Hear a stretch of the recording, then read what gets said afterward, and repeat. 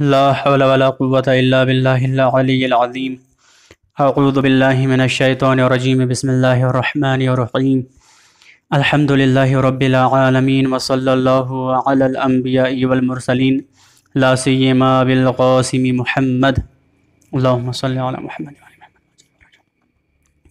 व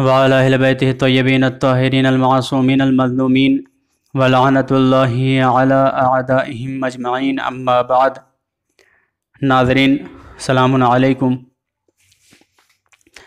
हमारा दर्स, जिसका टॉपिक और मौजू है, आशनाई बाजवा में हदीसी शीए यानी इंट्रोडक्शन ऑफ़ शिया अहादीस बुक्स इस दर्स में, मैं सैद मिनहाल हुसैन रिजवी आपका इस्तबाल करता हूँ, और अपने इस दर्स के सिलसिले को आगे बढ़ाता हूँ।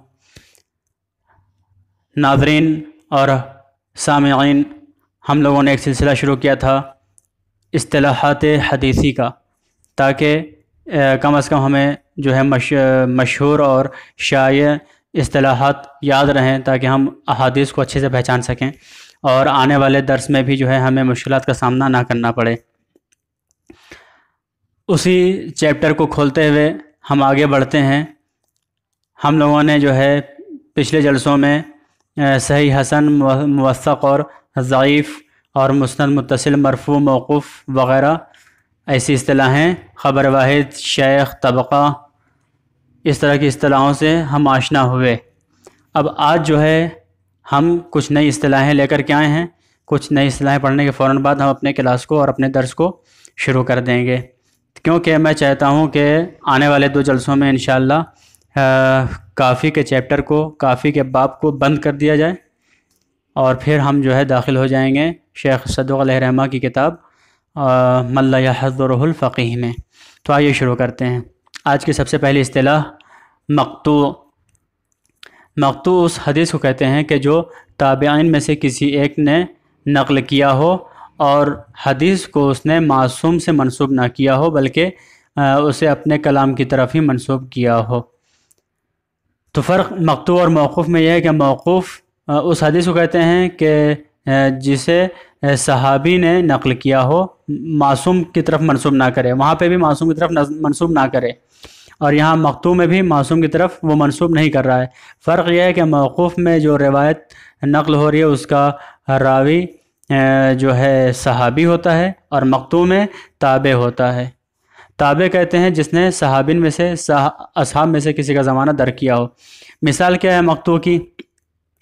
जैसे कि अद्दतमिन असहाब अनसहल इबन ज़ियाद, अन रैयान इबन सलत, सल्त अन यूनुस, काला। तो ये जो है सनद, ये मकतू है। क्योंकि यहाँ पे यूनुस से रवायत नकल हो रही है और यूनुस के बाद किसी मासूम का नाम नहीं आया है। दूसरी अतलाह है मज़मिर। मज़मर उस हदीस को कहते हैं कि जहाँ इंतहाई सनद में इमाम का नाम ज़िक्र करने के बजाय, मासूम का नाम ज़िक्र करने के बजाय, ज़मीर गायब से ज़मीर ज़मीर गायब का वहाँ पर ज़िक्र हो। जैसा कि इसका नमूना ये रवायत है रवा शहीद फ़िक्र वग़ैर वग़ैर मिन इबन कासिम काला सअलतहु अन रजोलिन। ये जो आइस बिन कासिम रवायत नकल कर रहे हैं और कह रहे हैं सल तो हो मैंने उससे सवाल किया, मैंने उनसे सवाल किया। किससे सवाल किया? इस ज़मीर का मर्जा यहाँ पे ज़िक्र नहीं किया है, रावी ने। इस रवायत का एड्रेस है वसाइलशिया जिलेक सफ़ा एक सौ छप्पन। तो जो रावी ने यहाँ पे मासूम का नाम नहीं ज़िक्र किया, ऐसी रवायात को कहेंगे मज़मर या मज़मर। रवायत को कहेंगे मज़मर। और रवायत को पोशीदा रखने वाली हदीस को कहेंगे मज़मर। तो सामीन और नाजरन यहाँ पे जो है रावी जो ज़मीर से का यूज़ कर रहा है और नाम नहीं ले रहा है, उसकी वजह यह बयान की गई है कि हो सकता है कि वो इमाम की जान पर ख़तरा महसूस करता हो, जिसकी वजह से उसने ज़मीर का इस्तेमाल किया, ताकि कोई ना समझ पाए कि किस मासूम से ये रवायत मनकूल हुई है। उसके बाद की असलाह है मशहूर। मशहूर उस रवायत को कहते हैं कि जो हदीस के नज़दीक मशहूर हो। या ये कि ये शहरत वाली बात जो है, हर इल्म और हर रिश्ते में जो है सेट हो सकती है। वहाँ पे हम जो है, उस इल्म के साय में तनाजुर में इस बात को और इस अतलाह को यूज़ कर सकते हैं। मिसाल के तौर पर एक हदीस है बिहारुल अनवार में, जिल हफ़्ता दोनों, सेवेंटी नाइन और सफ़ा है तीन सौ तीन थ्री ज़ीरो थ्री वहाँ पर एक हदीस नकल हुई है असला तो मराजुलमोमिन ये असलन हदीस है ही नहीं, क्योंकि ये हमारे यहाँ हदीस सिर्फ़ उसे कहते हैं जो किसी मासूम से नकल हो, और यह हदीस किसी भी मासूम से नकल नहीं हुई है। इसलिए इसको रिवायत कहेंगे, हदीस नहीं कहेंगे। और ये मशहूर में से है, यानी कि के हदीस के दरमियान मशहूर है ये। तो इसको मशहूर का नाम दिया जाएगा, हदीस का नाम नहीं दिया जाएगा। शाज और नादिर। शाज कह लीजिए या नादिर कह लीजिए, एक और अतलाह हर उस हदीस को कहते हैं कि जिसकी सिर्फ़ और सिर्फ़ एक सनद हो और उसके सभी के सभी रावी जो है फ़ा और काबिल अतमाद हों। लेकिन वो किसी एक मशहूर हदीस से मुखालफत करे, टकराए। यानी कि हर वो ख़बर वाहिद कि जिसके रावी मवसक़ और मोतमद हों और जो किसी मशहूर हदीस से टकराए, उसको कहेंगे शाद और नादिर। इसके बरखिलाफ़ मुनकर या मरदूद। उस हदीस को कहते हैं कि जिसकी एक सनद हो और मशहूर से मुखालफत भी करे, लेकिन इसके रावी जो है गैर सिका और गैर मोतमद हों, यानी कि काबिल भरोसामंद ना हो, भरोसामंद हस्तियाँ ना हो। तो ऐसी अहादीस को मुनकर और मरदूद कहेंगे। उसके बाद की अतलाह है मुस्तफ़ीज़। मुस्तफ़ीज़ ख़बर वाहिद की ही एक किस्म है। लेकिन ख़बर वाहिद, उस ख़बर वाहिद को मुस्तफ़ीज़ कहेंगे कि जो चार या चार से ज़्यादा रावी ज़िक्र करें जिस हदीस को। लेकिन बाज़ के मुताबिक अगर हर तबके में तीन अफराद भी अगर रिवायत को ज़िक्र करते हैं तो उसको भी ख़बर मुस्तफ़ कहा जाएगा। ख़बर वाहिद में मुस्तफ़ का मैार सबसे बुलंद है। उसके बाद एक और अतलाह है मुअल्लक़। मुअल्लक़ पहले भी गुज्त जलसों में ज़िक्र किया जा चुका है कि हर उस हदीस को कहते हैं कि जिसकी सनद अपने ऊपर वाली हदीस की सनद पर मुअल्लक़ हो। मसलन ऊपर की हदीस में रावी ने जो है एक नाम ज़िक्र किया तीन नामों के बाद। यानी कि शुरू में तीन या दो नाम ज़िक्र किया उसके बाद एक नाम ज़िक्र किया। तो जो तीसरे नंबर पर ज़िक्र नाम आ रहा है वही नाम उठा करके रावी ने क्या किया? दूसरी हदीस, जब वो हदीस ख़त्म हो जाएगी, फिर उसके बाद दूसरी हदीस शुरू करेगा। जब दूसरी हदीस शुरू करेगा तो उस तो तीसरे नाम को सबसे पहले लिख दे। तो इसे कहते हैं मुअल्लक़। तो इससे बात समझ में आती है कि ये जो तीसरा नाम यहाँ पे आया है, गर्ज यहाँ पे शुरू में पहले मरतबा में आया है, लेकिन इसके पहले दो नाम और हैं। इसको मैंने जो, पहले के जलसों में मुफसल ज़िक्र किया था। मुअल्लक़ के बाद आता है मौज़ल मौज़ल उस हदीस को कहते हैं कि जिसकी सनत के बीच में एक रावी से ज़्यादा रावी हज़फ हो जाएँ। उसके बाद मुरसल, उस हदीस को कहते हैं कि या तो असलन उसकी सनद ही ना हो। कुछ रवायतें हमारे पास ऐसी हैं जिसकी असल सनद ही नहीं है। उसको मुरसल कहेंगे। या कि नहीं, सनद हो, लेकिन उस सनद के अक्सर रावी हज़फ हों, डिलेट हों तो उसको भी मुरसल कहा जाएगा। और आखिरी अतलाह आज के जलसे की मौजू या मजूल मौजू या मजूल उस हदीस को कहते हैं कि असला मासूम ने उस हदीस को इरशाद ही ना फरमाया हो और रावी ने जो है अपनी तरफ़ से गढ़ दिया हो और गढ़ के मासूम की मासूम से मनसूब कर दे। जैसा कि अबू बकर ने जब हज़रत ज़रा सलाम के मुकाबले में, जब हज़रत ज़रा सलाम ने अपने मीरास का इद्दा किया तो उसके मुकाबले में अबू बकर ने कहा था कि पैगंबर इस्लाम सल्लल्लाहु अलैहि वसल्लम ने इरशाद फरमाया, नहन माशरम्बिया नूरसु माता रखना हो सदक़ा. इस हदीस का एड्रेस है सही मुस्लिम, जल्दो सफ़ा सेवेंटी टू, सफ़ा बहत्तर। कि हम अम्बिया का ग्रोह जो है, वारिस नहीं बनाते हैं, जो हम छोड़ देते हैं, वो सदक़ा है। हाँ तो इस तरह की हदीस को जो है, मौजू और मजूल कहा जाता है। तो नाजरीन और सामीन, आज की असलाहत के कारवान को हम यहीं पे रोकते हैं। इन आने वाले जलसे में हम इस कारवान को फिर आगे बढ़ाएँगे। अब हम आते हैं अपने दर्स की तरफ़। इख्तसार दर असामी रवायात। मरहूम कोलैनी ने रिवायात में जो सनद पेश की है, उस सनद में कहीं कहीं बहुत कम ऐसा देखने को मिलता है कि नाम को आपने शॉर्ट किया हो। असल में जो है तरीक़ा सनत में नाम पेश करने का, वो है हर एक रावी के नाम के साथ उसके वालिद का नाम भी ज़िक्र किया जाए। मसलन फ़लान इब्न फ़लान फ़लान इब्न फ़लान। लेकिन बहुत कम ऐसा काफ़ी में देखने को मिलता है कि मरहूम ने इख्तसार के तहत जो है वालिद का नाम जो है हसफ कर दिया है और सिर्फ़ और सिर्फ़ रावी का नाम ज़िक्र किया है। जैसे कि मोहम्मद अली अन मोहम्मद अन यूनुस अन अबान, अन सुलेमान बिन हारून।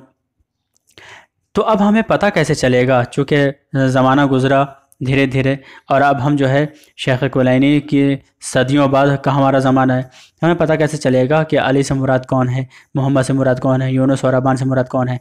बहरकैफ़ एक बहुत सख्त मरहला था, लेकिन मतरीन मतरीन ने, यानी कि सैद इबन ताउस के बाद के ने, ऐसी सनद में जो है, बरसी, छानबीन की और सनद में जो है गौर व फ़िक्र किया, इल्म रजाल और इल्म अहादीस में जो है ततब्बो किया और फिर उन्होंने डिफ़ाइन कर दिया कि मसलन अली से मुराद कौन है, मोहम्मद से मुराद कौन है और वो लिखते हैं कि अली से मुराद अली बिन इब्राहिम है, मोहम्मद बिन ईसा मुराद हैं, यूनस से मुराद यूनस बिन अब्दुलरहमान और अबान से मुराद अबान बिन उस्मान हैं। तो बहुत हद तक जो है मुहदसिन मुतरिन इस मुश्किल को दूर करने में कामयाब हो गए, लेकिन अभी भी सद ये मुश्किलें ख़त्म नहीं हुई हैं। अभी भी बहुत सारे नाम ऐसे हैं कि जो मजहूल हैं, या ये कि नाम ऐसा है कि जो मुश्तरक है, यानी कि मुश्तरक है मवसक़ और ज़यीफ़ दोनों में, या ये कि हो सकता है कि मुश्तरक हो मवसक़ में, यानी कि दो चार मवसक़ हों उन दो चारों रावी का नाम जो है अली हो। दो चार ज़यीफ़ हों, उन सब का नाम जो है मोहम्मद हो। तो ऐसे जो मुश्तरक नाम हैं, उसमें अभी भी जो है रजालियून और मुहदसिन के लिए ये एक मार्का बना हुआ है कि इनको हल किया जाए। मिसाल के तौर पर अहमद बिन मोहम्मद, इब्न सनान हमद इब्न फ़ज़ाल मोहम्मद बिन कैस, मोहम्मद बिन याया मोहम्मद बिन इस्माइल। ये सारे के सारा नाम ऐसे हैं कि जो मुश्तरक हैं दूसरे नामों में। अब हम एक और खसूस तरफ़ आगे बढ़ते हैं। मरहूम कोलैनी ने एक जो है, जमी इबारत यूज़ किया है। जैसा कि अद्दतमिन असहाबना, यानी हमारे असहाब में से एक ग्रोह, हमारे इस में से एक ग्रोह। अब जहाँ कहीं पे भी मरहूम कुलैनी ने इद्दतमिन असहाबना कहा है काफ़ी की सनत के आगाज़ में तो इससे मुराद क्या है? क्या इज़तमिन साहबना कहने से सनद जो है मुरसल हो जाएगी। सवाल। अब हम इसका जवाब तलाश करते हैं।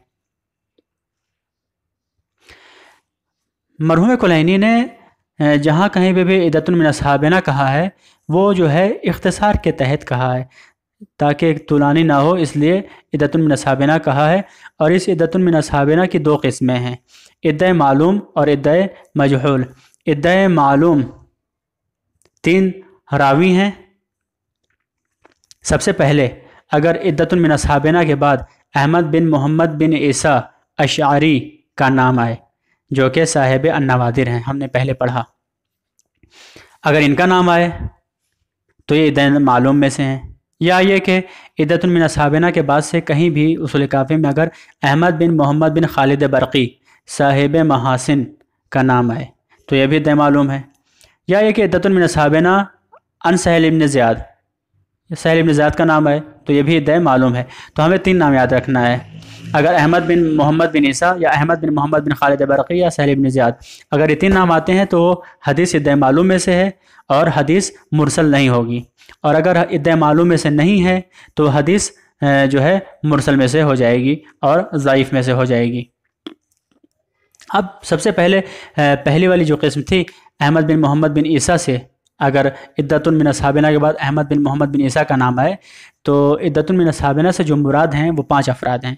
कौन कौन है? मोहम्मद बिन यहिया, अली इबन मूसा अल कमीदानी और दाऊद बिन कुरा, अहमद बिन इद्रिस और अली इबन इब्राहिम हाशिम। दूसरे मरहले में अगर इद्दतमिन साबिना के बाद अहमद बिन मोहम्मद बिन खालिद बरक़ी का नाम आए तो ये भी पाँच ग्रोह हैं, पाँच लोग हैं। अली इबन इब्राहिम, अली इबन मोहम्मद बिन अब्दुल्ला और इब्न उज़ैना और अहमद बिन अब्दुल्ला बिन उमैया और अली इब्न हुसैन। और जहाँ कहीं भी सहल बिन ज़ियाद का नाम है, इदतुन बिन असहाबिना के बाद तो वहाँ पे चार लोग मुराद हैं, चार अफराद मुराद हैं। अली इब्न मोहम्मद बिन अल्लान, मोहम्मद बिन अबी अब्दुल्ला, मोहम्मद बिन हसन और मोहम्मद बिन अकील कुलैनी। आप जो है रजू कर सकते हैं खुलासतुलकबल अल्फ़ादतुलसालिसा अब इद्द मजहूल कौन है? इद्द मजहूल उसको कहते हैं कि जहाँ पे इद्दतमिन साबिना के बाद से उन तीन नामों में से कोई भी एक नाम ना आए। मिसाल के तौर पर जो है इद्दतमिन साबिना अन इब्राहिम बिन इसहाक़ अहमर। या कि इद्दतमिन साबिना बिन अब्दुल्ला। ये पूरे काफ़ी में दो मरतबा ऐसी रिवायत आई है। ये जो है छः इद्दों को शामिल करती है और टोटल आठ रिवायत है कि जो मजहूल है इद मजहूल है। इस तरह की रिवायत जो है, जहाँ पे इद मजहूल है, वो सनत के इरसाल का सबब बनती है। उसी तरीके से जहाँ कहीं भी मरहूम कुलैनी ने बाज़ असहाबिना कहा है, वो भी सनत के मुरसल होने का सबब बनती है। जहाँ कहीं भी बाज़ असहाबिना कहा। बाज़ असहाबिना और इद्दतमिन असहाबिना में से फ़र्क ये है कि इद्दतमिन असहाबिना एक ग्रोह को कहा जाता है, बाज़ असहाबिना एक फ़र्द को कहा जाता है। अन आना अब हम बढ़ते हैं आगे अनाना की तरफ़। अन अना कह लीजिए या मुआन कह लीजिए। मरहूम कुलैनी ने सनद में इख्तसार के तहत जो है, अन अन के ज़रिए से सनद के हलक़ों को जोड़ा है।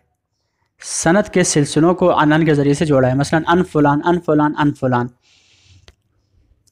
ये इख्तसार की वजह से। दूसरा जो है, अन अना का एक नुकसान ये है कि अन अन अन से जो है वजह तहमुल हदीस समझ में नहीं आती है कि रावी ने हदीस को किस तरीक़े से तहमुल किया। यानी कि जब हदीस को ले रहा था तो लेने का तरीक़ा क्या था? सुन कर के हदीस को लिया या पढ़ कर के हदीस को लिया या किसी इजाज़त के ज़रिए से हदीस को लिया, इजाज़ा के ज़रिए से?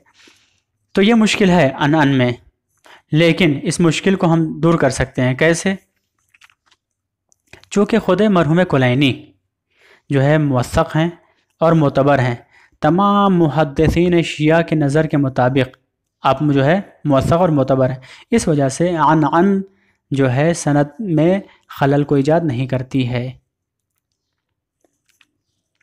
बाज़ सनद में जो है हमने इरसाल को मुशाह किया। मिसाल के तौर पर क़त या तालीक़ सनद में तालीक़ या इरसाल। ये जो क़त, तालीक़ और इरसाल है, ये मुबहम अल्फाज के ज़रिए से हो। जैसे अमन रवा हो तो सनद मुरसल हो जाएगी। या अमन हदसा हो जहाँ पे कहीं भी अगर मरहूम कुलैनी अमन हदसा हो कहें, यानी वो हदीस मुरसल हो जाएगी। अमन अखबर हो अन रजोलिन अन बाज़ असहाब ही रफ़ा अन मुरसलन अन। तो इस तरह की असलाहें जहाँ कहीं भी मरहूम कुलैनी ने यूज़ की हैं, वो सनत को मुरसल कर देती हैं। या एक अन बाज़ असहाब ही अन अबी बसीर। तो सवाल ये उठता है कि क्या मरहूम कुलैनी को पता नहीं था कि जो है ये सब सनद मुरसल है और हदीस जो है ज़यीफ़ हो जाएगी? तो इसको बयान ना किया जाए? अहम सवाल है। क्या मरहूम कुलैनी ने जानबूझ करके जो है ज़यीफ़ रवायतों को पेश कर दिया है? तो सबसे पहले मैं अपने नाजरन को यहाँ पे एक शुबा, ये बहुत बड़ा शुबा है, इस शुबा को दूर कर दूँ कि नाजरन मतकदमिन और मतरीन में सही और हसन का मैार जो है, बदल चुका है। चूँकि मतकदमिन जो है, सिर्फ़ और सिर्फ़ दो असलाह जानते थे, या हदीस सही होती थी या ज़यीफ़ होती थी, या सही या गैर सही। गैर सही यानी ज़यीफ़ लेकिन मतरीन में आकर के हदीस की चार किस्में बयान की गई हैं।